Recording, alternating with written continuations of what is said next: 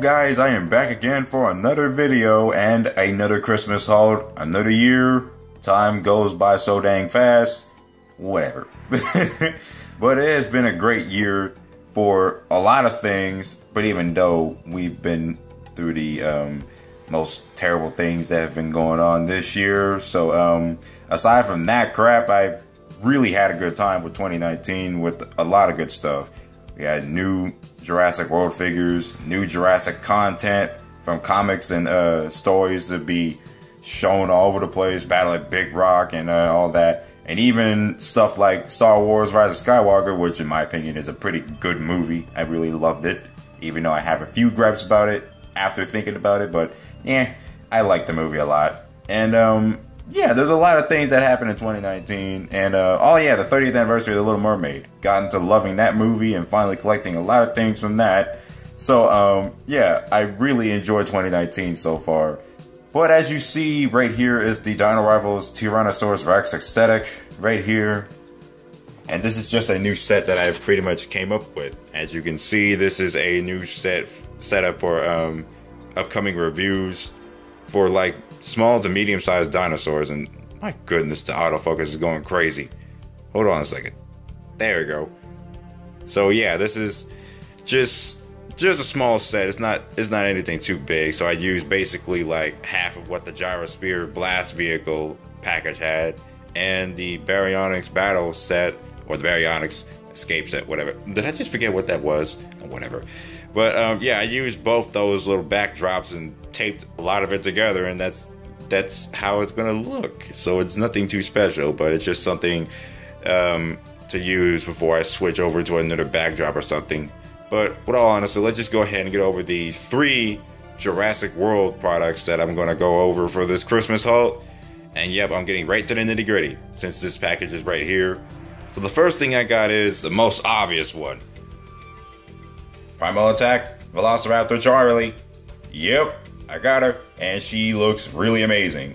She's also in pretty good condition, and yes, the eyes are completely normal. No damage whatsoever, they're completely fine. I really love the figures so far. Actually, not so far. I really like it a lot. The detailing is great, and you'll be seeing a review of this pretty darn soon with this new backdrop. So, um, yeah, that's this figure. Really happy to get this. And the second thing I got, yep, the the Dilophosaurus from Dino Rivals, the repainted variation that everybody almost hates. I mean, almost everybody hates. Why do I say everybody almost? That makes no sense. You'll be seeing a review of this come by pretty soon, and already I will tell you I am impressed with the figure, except for the action feature yeah, I'll, I'll, get over a little bit more about that. And last but not least, Triceratops version 2. I really love this figure. From day one, seeing it, I really couldn't wait to get this figure. And yes, the lighting over here makes the paint job look different, and so as like you see it without even filming it but despite that, I really love this Triceratops. It's got such a cool, nostalgic paint job for many people who are a fan of Kenner. And um, yeah, it's just like one of those uh, figures that we had previously that is a callback to Kenner's dinosaurs, and that's why I love the figure so much.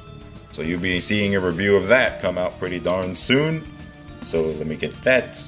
And let's go switch the backdrop. Yep, got the blue backdrop here, and um, this one right here is pretty awesome. My dad got me this one. Is this sound speaker here? Just looking at it from here, it actually looks pretty freaking good to see it.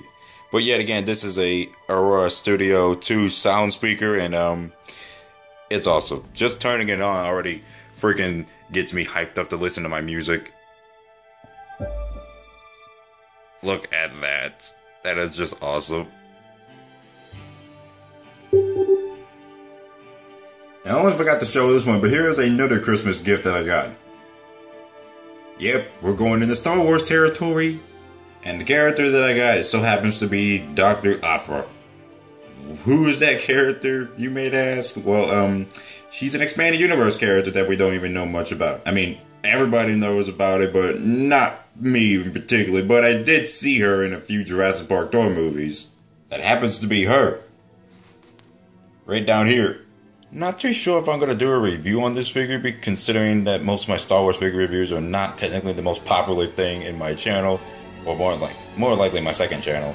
But I will say, I might not do a review of this figure, only because that well, Star Wars figure reviews at this point is dead. Okay, not really, but just just for me. But um, yeah, I love this figure mainly because the figure's aesthetic and well, as you can say, the likeness. I guess everything about the figure just screams freaking amazing. I really love this figure. And also, the best thing is I don't have any problems on the leg joints. So she is, um, she's kicking ass. Yeah, love it. She is a really interesting looking figure and character as well. And she'll also be a new character in most of my Jurassic Park toy movies that I will be making, including a movie that I will be still in production and I will continue working on it. So uh, yeah, expect to see her in the next movie I'm making.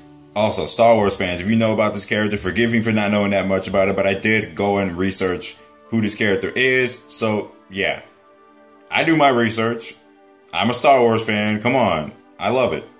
And the last thing I got to show for this Christmas haul is definitely something that I was really trying to find, but it wasn't even in stores. The only place I can look for was on Amazon.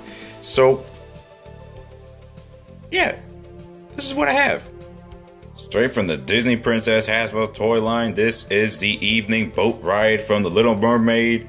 And, um, yeah, I'm glad I picked it up. And the best thing about this is I have this as an early Christmas present. All three Little Mermaid movies in this Canadian port set from uh, Vintage Stock. I found this at Vintage Stock at one of my local Vintage Stock stores. And, uh, yeah, I'm pretty glad that I got them all. This this includes an uh, I think this is a 2013-14 release of this particular The Little Mermaid, the first one because considering now I got two copies, which is the 30th anniversary version, and the original. I mean, no, not original. I mean that would be for the DVD. This is um, the Blu-ray from 2014 alongside the sequel and prequel that I was trying to find, and I finally got them, and couldn't be any more happier. Just seeing all three Little Mermaid films and finally getting all three of them in one uh, collection. All I need to do is find the series, or they need to release the series on Blu ray or DVD or something because we never got it. It's only available on streaming services. So, yeah, you'll be seeing this going over in a new uh, movie collection update video and seeing this as an overview coming soon Oh, and this jet on the floor. Oh yeah, that's a bonus early Christmas gift that I forgot to even tell you about. So um, uh, yeah, it doesn't have any batteries. It doesn't even function right. But yet again, I picked this up at Family Dollar for only like fifteen dollars. I guess it's pretty cheap. So yeah, that's it for this video. Hope you guys enjoyed it. Sorry for putting it on a black screen, but I don't even have anything else to show right now. That's basically it. So yeah, that's it for this Christmas haul video, and um, see you guys later.